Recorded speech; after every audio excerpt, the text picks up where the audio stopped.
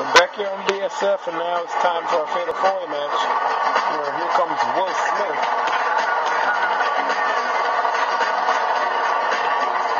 Will Smith, last time he made an appearance here on BSF was in a tribute to the Cheap Show where he versed The Rock in a good grudge match, a nice grudge match, and he lost, however. There's nothing to be ashamed of. You,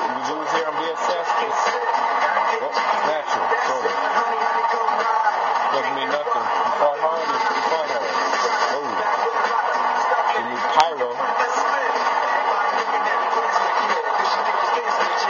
And Will Smith has been part of Will Smith before the show. And Will Smith says he's been, uh, went back to Philadelphia, went back to Bel Air with Carlton and um, Uncle Phil kicking it back and, you know, doing whatever the Fresh Prince does.